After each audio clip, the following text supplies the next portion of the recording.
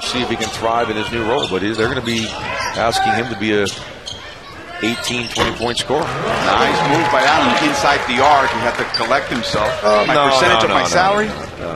I wish it was based on a salary. I, I know Doug McDermott would if you're getting $24 million a year, basically. All right. Okay. Oh, nice move by Shane. Had it all planned out.